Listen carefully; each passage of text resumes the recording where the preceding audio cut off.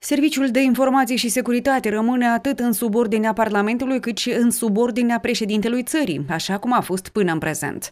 Modificările votate joi de legislativ se referă doar la funcția de vicedirector al instituției, a spus președintele țării Igor Dodon în emisiunea live. Ceea ce ține de SIS, proiectul socialiștilor care a fost votat ieri, prevede niște lucruri foarte simple.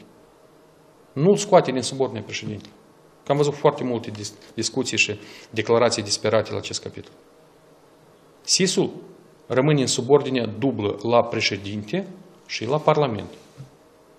Așa cum se numea anterior șeful SIS-ului de Parlament, în continuare șeful SIS-ului se numește de Parlament. Așa este acum, așa a fost și o lună urmă, așa a fost și trei ani urmă, și cinci, și zece, și așa mai departe. Unicul lucru care s-a schimbat, că vicedirectorul de SIS se numește nu de președinte, dar se numește tot de Parlament.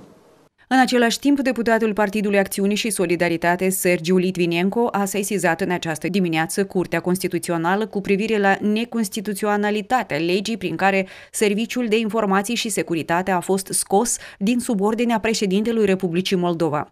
De asemenea, deputații anunță că a mai solicitat în altei curți suspendarea acțiunii legii până la examinarea în fond a sesizării. Fostul președinte al Curții Constituționale a Republicii Moldova, Alexandru Tănase, a spus că Ceea ce se întâmplă în plenul Parlamentului seamănă mai mult cu o lovitură de stat. Acesta a menționat că toate proiectele adoptate în plenul legislativului întrunesc temei pentru a fi contestate la CC.